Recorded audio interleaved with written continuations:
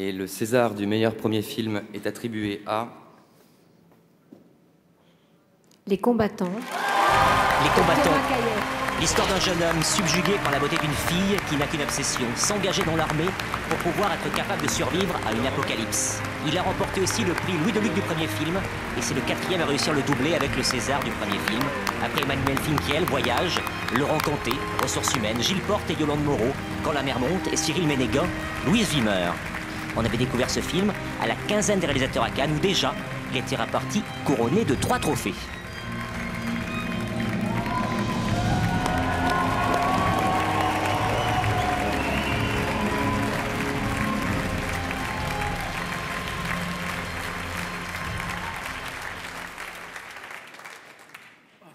Je trouve très bien votre tenue. Nous aussi.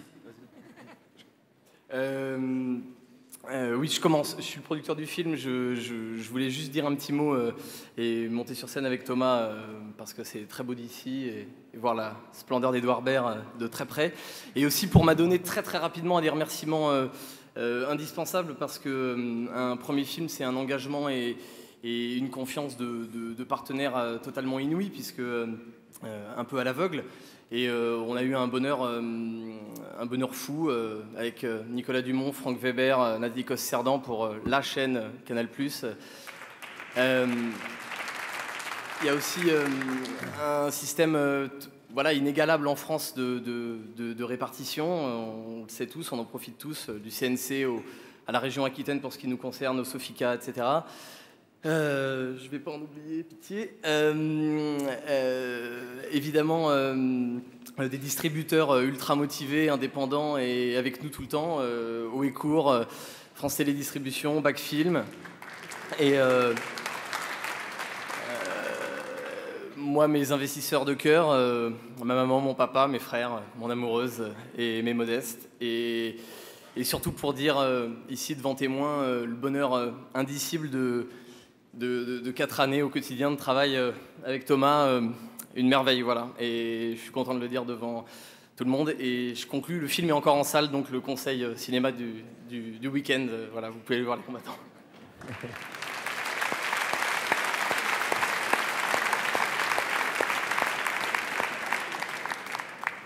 Ah, J'ai préparé un petit texte, parce que j'ai pas la mémoire de, mon producteur. Il y en a que 8 pages.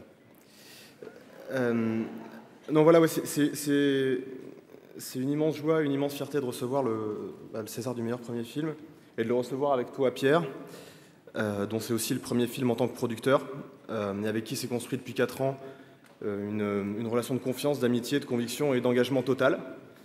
C'est une récompense qui me touche d'autant plus que le film a été un baptême pour beaucoup de monde, des costumes à la machinerie, du scénario au mixage. On est en grande partie une bande de débutants. Alors je ne pourrais pas citer euh, tout le monde dans cette euh, joyeuse bande de débutants, mais je tiens à remercier du fond du cœur euh, Claude Lepape, ma tal- talentueuse co-scénariste et amie. Je remercie également David Caillé, mon frère et chef opérateur, qui m'a aussi montré la voie du cinéma.